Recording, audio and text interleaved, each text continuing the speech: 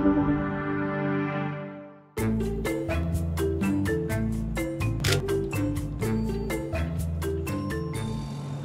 Chris Hadfield here on the International Space Station inside the cupola. I hope you've been enjoying all the pictures we've been taking. It's not uh, Instagram, it's Spaceogram. Let me show you how we take these pictures. We orbit 400 kilometers above the Earth, so if you want to get a good detailed picture of something, you need a long lens. I have one velcroed to the wall. This is the big one, 400 millimeters of many pieces of glass so we can focus on what's going on in the world. Three important things when you take a picture from space. Focus, frame, and fire.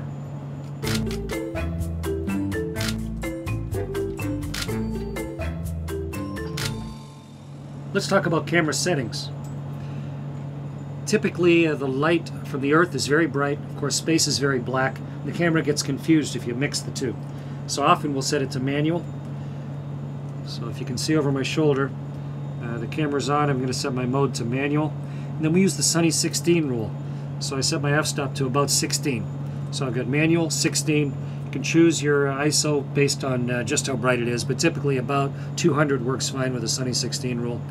And uh, we use very high resolution pictures. So we set on the back here, we use a NEF format, not JPEG. So each picture is about uh, 10 megs, rapidly fills up the card. But that's how we set our camera to take a picture in space. One of the most striking parts of the world is the Sahara. Huge, barren, colorful rock, no vegetation covering it up. You can see all the textures and varying shades of the world. The Sahara is beautiful. We're coming up on it now. This beautiful little clouds just on the coast, the brown and blue of Africa. It's just around lunchtime on the Sahara right now, so the sun's coming straight down. Makes for a nice time to take pictures because the light is really strong on the surface, so it, it's good to, uh, to get the detail. Something I really look for are edges and borders and, and changes. And the Sahara has those where you go from one ancient style of rock to another, or where the dunes of the desert are, have stopped in one area and started in another. So those, they almost make straight lines and, and, weird textures. Looks like skin or hide. And uh, I often look for those from space.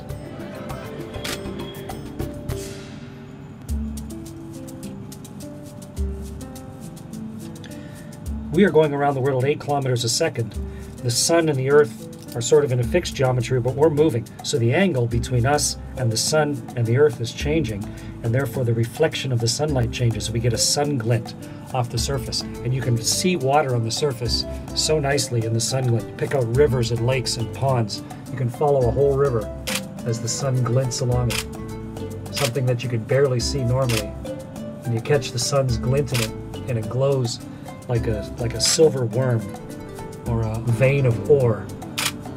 And then the angle changes and it it's as if someone turned the lights off in the river and it wakes up. The beauty of Space Station is though, if it's not here this time, tomorrow it might be. Or maybe next week, or maybe a month from now. There's not a race to get a picture. You can be patient. Like a hunter.